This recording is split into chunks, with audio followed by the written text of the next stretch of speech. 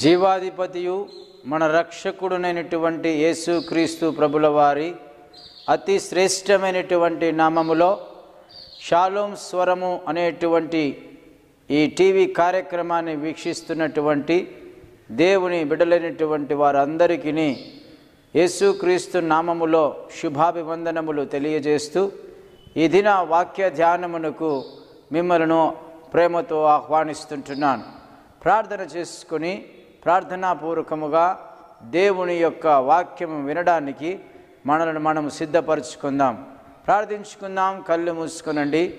మా ప్రియమైనటువంటి ప్రభువా నీకు వందనాలు స్తోత్రాలు చెల్లిస్తుంటున్నాం. ఇది నా వాక్య ధ్యానంలో మీరు మాకు తోడుగా ఉండి మమ్మలను ముందుకు నడిపించమని ప్రార్థన చేస్తుంటున్నాం. నీ యొక్క లేఖన భాగముల ద్వారా మా జీవితాలతో మాట్లాడండి. మాకు అవసరమైనటువంటి నీ మాటలను మాకు అనుగ్రహించమని విని గ్రహించి లోబడే జీవితాలు మాకు ఇమ్మని యేసుక్రీస్తు ప్రభుల వారి అతి శ్రేష్టమైనటువంటి నామంలో ప్రార్థించి స్తుతించి వేడుకుంటున్నాము తండ్రి. ఆమెన్.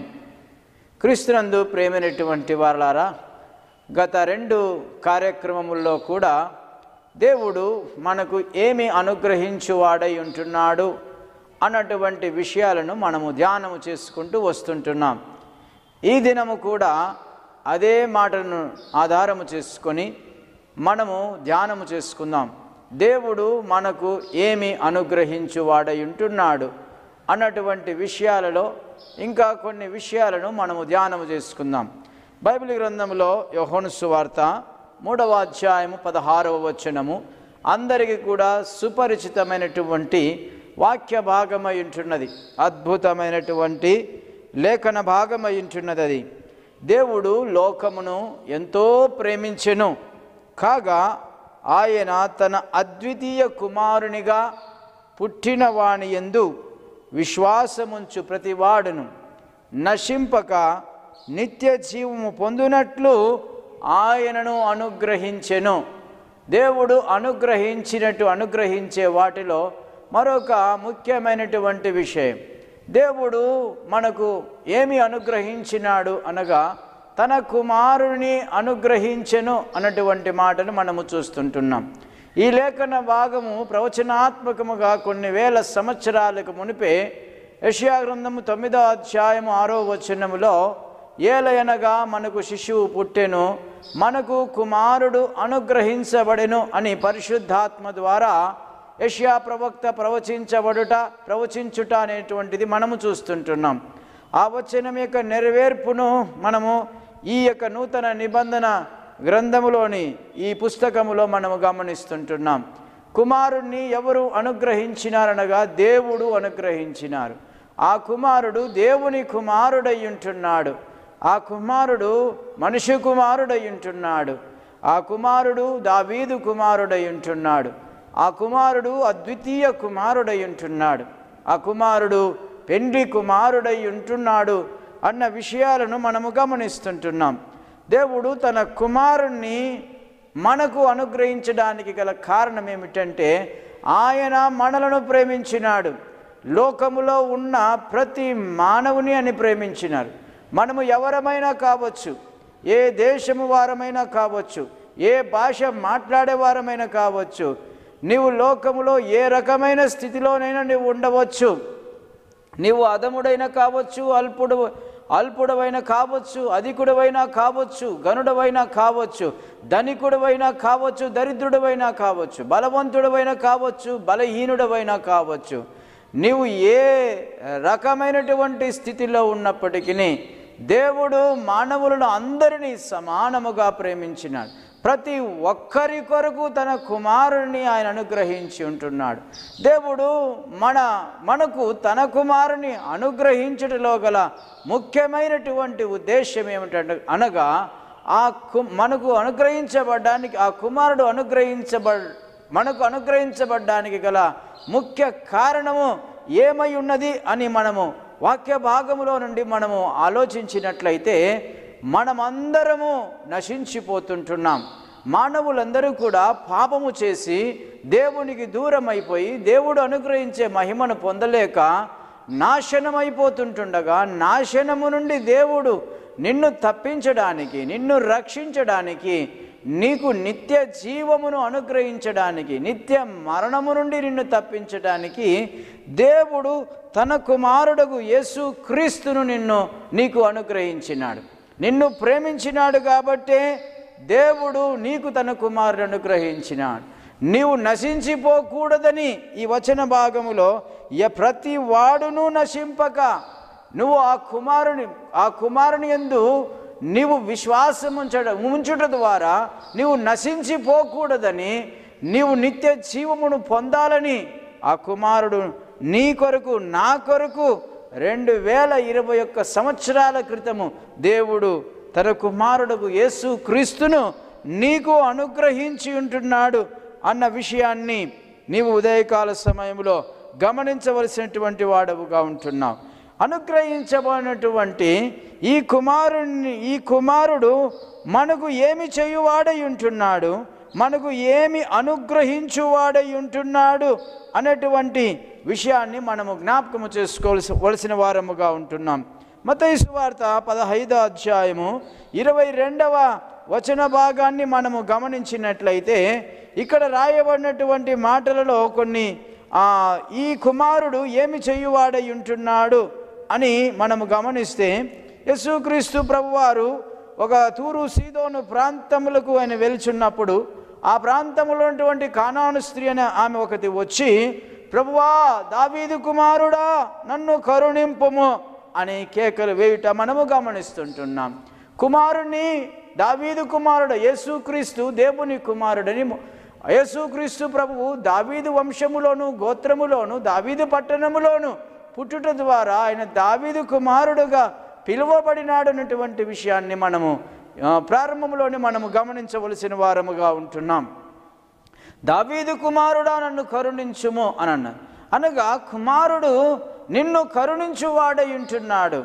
ఆ కుమారుడు కరుణించుమని కేకలు వేసినప్పుడు దేవుడు కొంత ఆ యేసుక్రీస్తు ప్రభు వారు కొంత సమయము ఆలస్యము చేసినప్పటికీ ఆమె పట్టు విడవక మాటి మాటికి కేకలు వేస్తూ ఆయన చేత ఆయన నుండి కరుణ పొందేంత వరకు వదలక ఆయనను వెంబడించినట్లుగా కేకలు వేసి కరుణి దేవుని యొక్క ఏ- కుమారుని యొక్క కరుణకు పాత్రురాలైనట్లుగా ఆమెకు అవసరమైనటువంటి సహాయము ఆమె పొందుకున్నట్లుగా మనము గమనిస్తుంటున్నాం.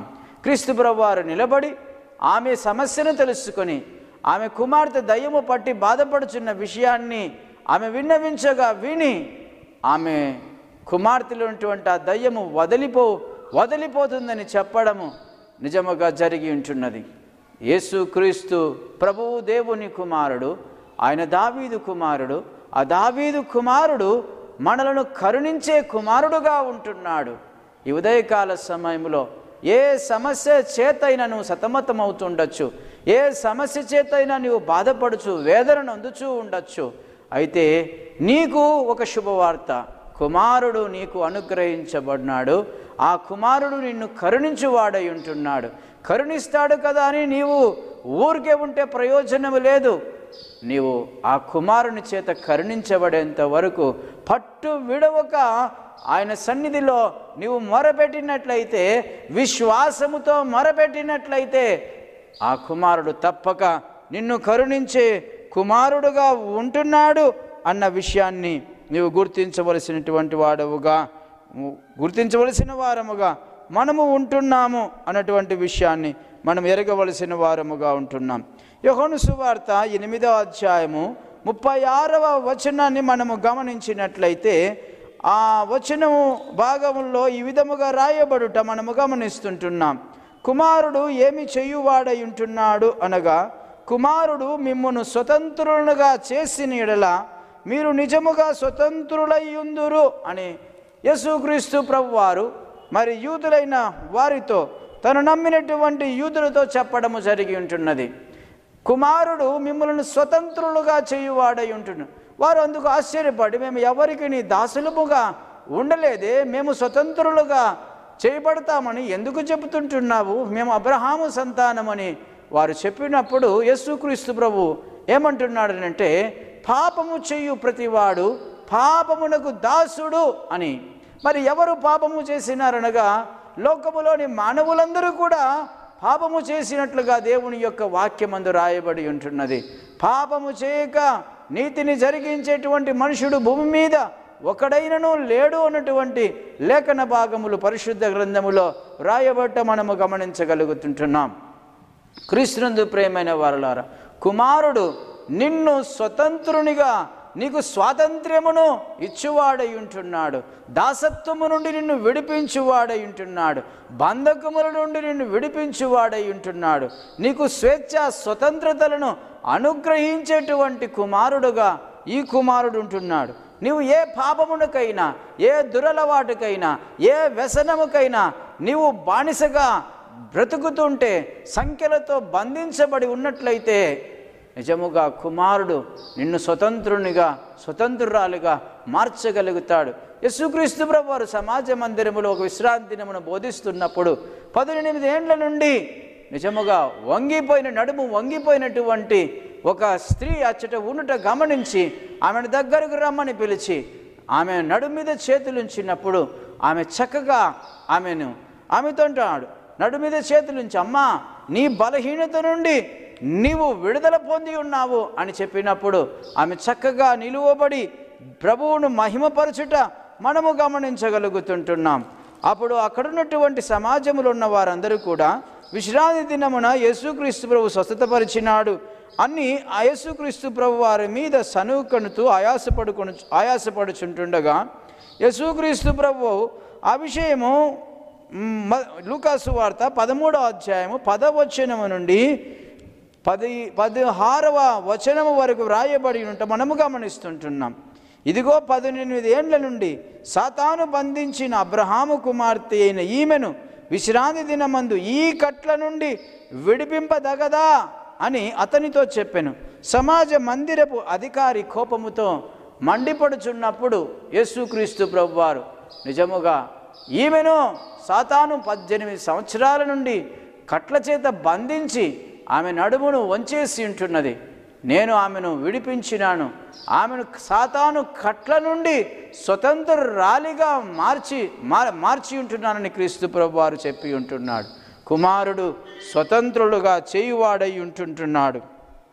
కుమారుడు నిజముగా మన కుమారుడు ఇంకా ఏమి చేయువాడై ఉంటున్నాడు అని అనగా దేవుని కుమారుడు ఎందుకు లోకమునకు వచ్చి ఉంటున్నాడు అనేటువంటి విషయాన్ని యోహను సువార్త యోహను రాసినటువంటి మొద మొదటి పత్రిక మూడవ అధ్యాయము ఎనిమిదవ వచనాన్ని మనము గమనించినట్లయితే అపవాది క్రియలు లయపరచుటకు దేవుని కుమారుడు ప్రత్యక్షమాయను అని అన్నటువంటి మాటను మనము గమనిస్తాం. సాతాను క్రియలు ఈ దినముల్లో అనేక మంది సాతాను అనేక మంది జీవితాల్లో సాతాను క్రియలు కనబడుతూ ఉంటున్నవి. నీ జీవితంలో సాతాను క్రియలు చేస్తూ నిన్ను నష్టమునకు గురి చేస్తూ నిన్ను సమస్యలకు గురి చేస్తూ నీకు సమాధానము లేకుండా చేస్తూ నెమ్మది లేని స్థితికి గురి చేస్తున్న ఎడల నిజముగా నీవు ప్రార్థించు. అపవాది లయపరచుటకు ప్రత్యక్షమైనటువంటి దేవుని కుమారుడా యేసుక్రీస్తు ప్రభువ నా జీవితంలో అపవాది క్రియలు లయపరచుమని ప్రార్థన చేయి. నీ కుటుంబంలో అపవాది క్రియలు అపవాది క్రియ చేస్తుంటున్నాడా? నీ జీవితంలో అపవాది క్రియ చేస్తుంటున్నాడా? నీ బిడ్డల జీవితంలో అపవాది క్రియ చేస్తుంటున్నాడు. నీ భార్య జీవితంలో నీ భర్త జీవితంలో నీ సంఘములో నీ సేవా జీవితంలో అపవాది క్రియలు ఏ విధమైనగా నష్టమును కష్టమును శాపమును కీడును కలిగిస్తున్న కుమారుడు అపవాది క్రియలను లయపరచువాడుగా ఉంటున్నాడన్న విషయాన్ని ఎరిగి కుమారుణ్ణి ఆశ్రయించు కుమారుని ప్రార్థించు. ఆ కుమారుడు అపవాది క్రియలు లయపరిచే కుమారుడుగా ఉంటున్నాడు అన్న విషయాన్ని నువ్వు ఎరగవలసినటువంటి వాడుగా ఉంటున్నాం మనము. తెసలోనికైలకు రాసినటువంటి మొదటి పత్రిక మొదటి అధ్యాయము పదవ వచనాన్ని మనము గమనించినట్లయితే ఆ వచనములో ఈ విధముగా రాయబట్టి మనము గమనించగలుగుతాము. దేవుడు మృతులలో నుండి లేపిన యేసు అనగా రాబోవు ఉగ్రత నుండి మనలను తప్పించుచున్న ఆయన కుమారుడైన యేసు అన్నటువంటి మాట. ఒక ఉగ్రత రాబోతా ఉంటున్నది. దేవుని ఉగ్రత దినమును నుండి మనలను తప్పించడానికి కుమారుడు శక్తి కలిగినటువంటి వాడుగా సామర్థ్యం కలిగినటువంటి వాడుగా ఉంటున్నాడు అన్నటువంటి విషయాన్ని మనము ఎరగవలసినటువంటి వారముగా ఉంటున్నాం. అదేవిధముగా బైబిల్ గ్రంథాన్ని మనము గమనించినట్లయితే మతైసు వార్త తొమ్మిదవ అధ్యాయము ఆరవ వచనాన్ని మనము గమనించినట్లయితే ఒకనొక సమయం ఒక ఇంటిలో యేసుక్రీస్తు ప్రభువారు కూడి ఉన్నప్పుడు నలుగురు మనుషులు పక్షవాయువు రోగిని నిజముగా మంచముతో ఆయన దగ్గరకు తీసుకొని రావడము దేవుడు వారి విశ్వాసమును చూచి కుమారుడ ధైర్యంగా ఉండమని చెప్పి పాపములను నీ పాపాలు క్షమించబడి ఉన్నవని చెప్పినప్పుడు అక్కడున్నటువంటి వారందరూ కూడా నిజముగా ఆయన మీద దురాలోచనలు చేస్తూ ఇదిగో ఇతడు దేవదూషణ చేస్తున్నాడు అంటున్నప్పుడు యేసుక్రీస్తు ప్రభు ఏమంటున్నాడంటే పాపములు క్షమించుటకు భూమి మీద మనిషి కుమారునికి అధికారము కలదని మీరు తెలుసుకోవాలి అని చెప్పడము జరిగి ఉంటున్నది. అనగా కుమారుడు నిన్ను ఏమి చేయవాడై ఉంటున్నాడనగా నీ పాపములను క్షమించే కుమారుడై ఉంటున్నాడు. పాపములు క్షమించడానికి ఏ కుమారుడైనటువంటి దేవుని కుమారుడైన యేసు క్రీస్తు మాత్రమే అధికారము కలిగి ఉంటున్నాడు నీ పాపములు క్షమించ. ఈ భూమి మీద ఉన్నప్పుడే కుమారుని నుండి నీ పాపములకు క్షమాపణ పొందుకోవలసినటువంటి అవసరత అనేటువంటిది ఉంటున్నది. నీ పాపములు క్షమించబడకోకుండా నీవు మరణించినట్లయితే లేక యేసుక్రీస్తు ప్రభు దేవుని కుమారుడు మరల రాబోతుంటున్నాడు రాజులకు రాజుగా. ఒకవేళ ఆయన వచ్చినట్లయితే నీ పాపములు క్షమించబడని స్థితిలో నీ పాపములకు క్షమాపణ నువ్వు కుమారుణ్ణి పొందుకొన కొనని స్థితిలో నువ్వు నిలిచి ఉండినట్లయితే నీవు నిజముగా నిత్య నరకమునకు వెళ్ళిపోతావు. కాబట్టి కుమారుడు నీకు ఏమనుగ్రహించువాడై ఉంటున్నాడనగా పాపములను క్షమించే అధికారమును కలిగి ఉంటున్నాడు అన్న విషయాన్ని మనం ఎరగవలసిన వారముగా ఉంటున్నాం. కాబట్టి మనము ఇలాంటి మంచి విషయాలను ఇలాంటి కార్యములను కుమారుడు చేయువాడుగా ఉన్నాడు కాబట్టి ఈ కుమారుని మనము ఇప్పుడు ఏమి చెయ్యాలి అనగా యోహను సువార్త మూడో అధ్యాయం పదహారు వచ్చినములో చెప్పినట్లుగా కుమారుని యందు మనము విశ్వాసం ఉంచాలి మొదటిది. రెండవది మనము కుమారునికి కుమారునికి మనము విధేయులు కావాలి అన్నటువంటి విషయాన్ని మనము ఎరగవలసినటువంటి వారముగా ఉంటున్నాం. యోహను సువార్త మూడో అధ్యాయం ముప్పై ఆరో వచనములో కుమారునికి విధేయుడు కానివాడు జీవమును చూడడు కాని దేవుని ఉగ్రత నిలిచి ఉంటుంది వాని మీదన్న విషయాన్ని మనము గమనించవలసిన వారముగా ఉంటున్నాం. కుమారుని ఎందు విశ్వాసం ఉంచాలి కుమారునికి విధేయతను మనము చూపాలి. మూడవది మనము కుమారుని గణపరచవలసినటువంటి వారముగా ఉంటున్నాం. యోహోను సువార్త ఐదో అధ్యాయము ఇరవై మూడవ వచనములో ఆ విషయాన్ని మనము జ్ఞాపకము చేయబడుతుంటున్నాం. కుమారుణ్ణి మనము గణపరిచేటువంటి వారముగా ఉం- ఉండాలి. మన ప్రాణాత్మ శరీరములతో మనకు కలిగిన దానితో కుమారుని గణపరచవలసిన వారముగా ఉంటున్నాం. కీర్తన గ్రంథం రెండవ అధ్యాయంలో మనము గమనించినట్లయితే కుమారుని ముద్దు పెట్టుకొనుడి లేని ఎడలా ఆయనను కోపించు ఆయన కోపించును.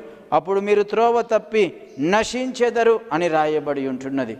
కుమారుణ్ణి మనము ప్రేమించవ ముద్దు ప్రేమకు గుర్తయి ఉంటున్నది. కుమారుని మనము ప్రేమించాలి.